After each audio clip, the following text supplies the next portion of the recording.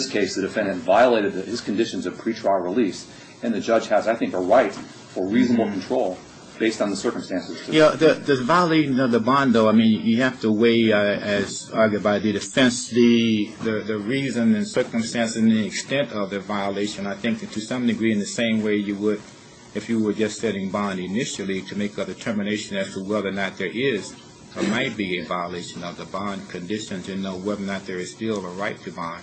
I understand, you know, uh, the thrust of uh, the the the court rule and the legislative intent about that is to favor release, but setting conditions and as a last resort, then a more strenuous circumstance such as remand or something along that line. I agree, yes.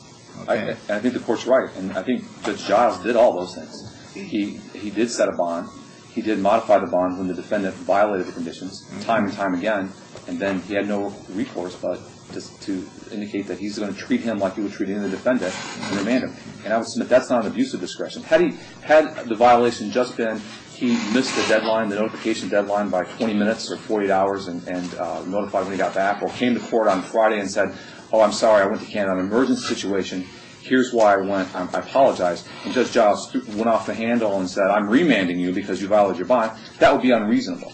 But that's not what we have in this case. We have a series of of uh, a pattern of events that the defendant violated his bond time and time again by assaulting a police officer, interfering with service process, violating the travel restrictions. I recognize that that's an allegation right now. Yes, I understand. I mean, you're taking a prosecutorial stance on it. I recognize that. I'll take a judicial stance on it. So move on. Yes. But but the biggest thing is he, he failed to disclose it to the court.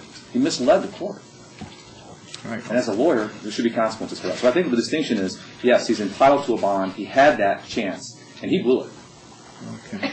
But I'm I'm still, I tell you, and I'll be straight up, straightforward with you, that my concern, you know, lies right now in terms of what MCR 6.106 is and what it says and what it's intended to be. And weighing uh, the the the language and the of the of the rule and so forth with the circumstances that justify strict remand but nothing else. I understand. That's where I'm having a problem. I understand. Okay. All right. And I think that if this were, like I say, I don't want to go outside the record, but if this were a hearing, there would be. Well, then don't. I'm just saying. Mr. Thomas, okay, if you can't contain yourself, you know, get out of here now. I'm not going to stand for you to be interrupting him in the way that you are. You want to respect this courtroom, okay? I don't have any comments, no no other comments about that, okay? Don't disrespect the process, okay? Well, you don't make those kind of gratuitous comments, okay? All right? This is not a court, uh, uh, uh, a trial. This is a hearing, okay? All right? Nothing else from you, okay? Please, okay? All right? One more word and you'll be held in contempt, okay? You don't just disrupt him like that. Please proceed. Thank you, Your Honor. I guess uh, our position is that um, Judge Giles did what he felt he had to do under the circumstances because he couldn't get the defendant's attention time and time again. And is that an abuse of discretion? No. Um, did what Judge Giles do the right thing? I submit to the court he did because the defendant wasn't complying. Not only wasn't complying, but he was being deceitful. Okay. Let me hear from Mr. Parkman or whoever. Judge, can I address at least one issue? I was the attorney of record uh, as it relates to one particular portion of what it was that Mr. Moran has said. Mr. Parkman was not involved.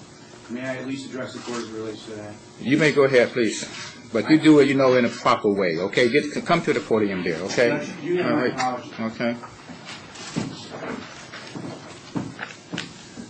Judge, the First Amendment to the bond conditions was not as a result of any wrongdoing that the mayor had done. The mayor had complied in every respect with respect to what Judge Giles, uh, Judge Humphreys before him, and uh, the arraigning magistrate had done. Uh, that bond condition was sua sponte. It was raised out of a concern relating to the notice provisions on the mayor's travel when he was leaving whatever the state or the country. He had been given very broad privileges as it relates to travel. When we appeared in court, it was very clear that it wasn't as a result of any wrongdoing that the mayor had occurred, had done. So this this beginning of the pattern did not start then with Judge Giles uh, entering an opinion that that changed the bond conditions. We agreed to them and we embraced them, and that was 48 hours' notice. What Mr. Parkman said, and maybe if we had hindsight, we might have uh, fought harder on that, but we did not. And, And so as a result, the conditions were as they are, and that was 48 hours' notice only notice as it related to business travel. And we had complied with that for over two months. The court understands the other arguments that Mr. Parkman had made. I don't need to indicate to the court what the law is, but we think that the nature of the judge's response as it relates to this incident, which was not a subsequent incident. He was placed on notice on July the 25th, and he's complied in all respects since the 25th. It was a prior incident. That we think that the judge's reaction was exaggerated, and it should not have occurred, and in that, it was an abuse of discretion. All right. Thank- You may still speak, Mr. Parkman. Thank you very much, Your Honor.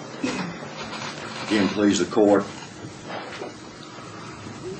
Very briefly, uh, I want to say that uh, now that we are uh, on an appeal from that, I do want you, and I know you will, Your Honor, uh, in your wisdom, you'll take a look at the uh, transcript from yesterday.